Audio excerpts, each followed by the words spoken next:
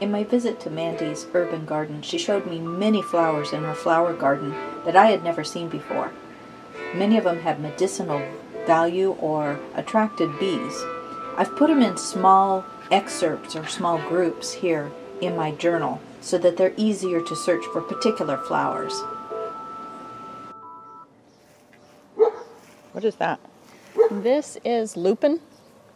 Um, you can kind of see a few flowers down there that are still blooming.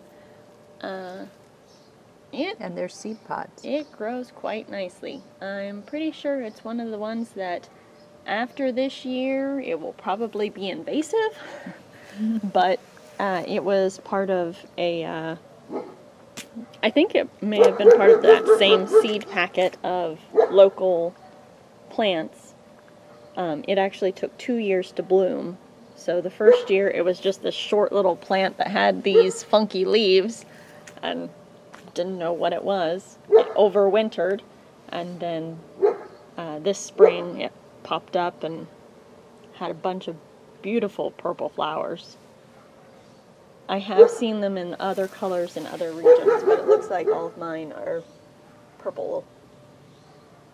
There's actually another one over here. So it's a pretty sturdy stem. Yeah. And it's like a bush, not a plant. It's more like a bush, right? Yeah. I don't know whether it will die this year or whether it will continue to bloom. I don't know if it acts as a perennial or not. You'll have to tell me. Mm-hmm. So you said you had another one over here? Yep. So here's another one that's blooming. Oh, nice. To this guy. Is does it have any medicinal things that you know of? And not that I am aware of. It's just pretty. Interesting leaves. Yes. So these down here are the same thing. Correct. Really, a lot bigger leaves down here. And as you can see, the uh, flower pod, or flower, turns into all of these little pods, and then they open up. So as you can see, one plant produced an awful lot of seeds. Which is why you think it may become invasive. Correct. I did spread the seeds in the far back corner because it does not get watered and it's kind of no man's land. And so I figured if they thrive there, that's actually a win for me because I don't have to care for them.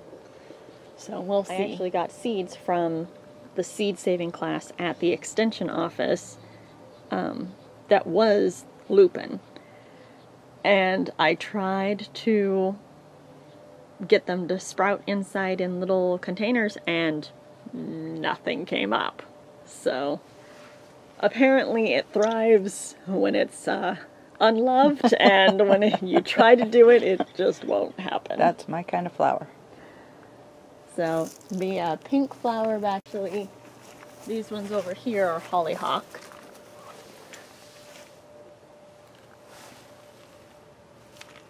They ultimately they should Is get this one too, a different Yep. color?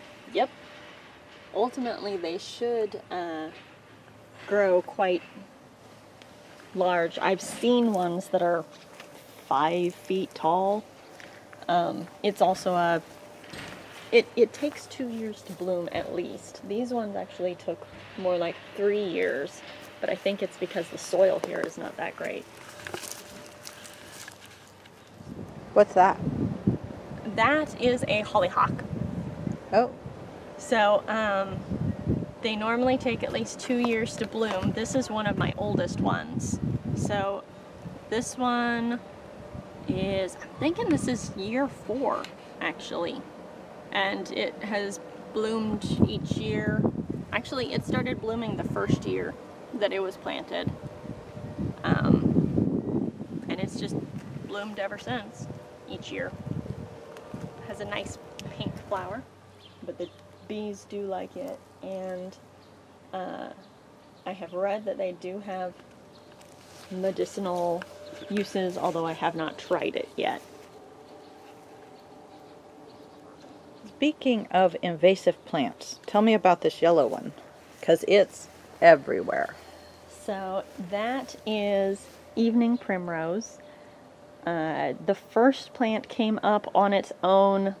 I'm guessing a bird had dropped a seed, and I thought it was pretty at the time, so I left it, let it go to seed um, before ripping it out. And as you can see, letting it go to seed and uh, letting it disperse those seeds, let it become a little bit invasive. So at this point, I'm I've let these ones bloom, but I will be ripping them out actually quite soon before the seed pods, because all of all of these things are the seed pods, and the seeds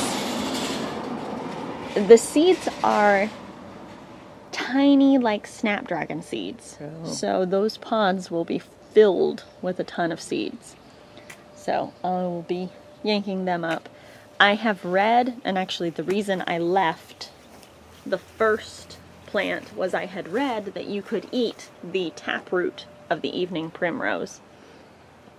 However, when I yanked one up and did a small taste test, I did not find the uh, taste to be all that appetizing, so that is no longer a reason to keep it around.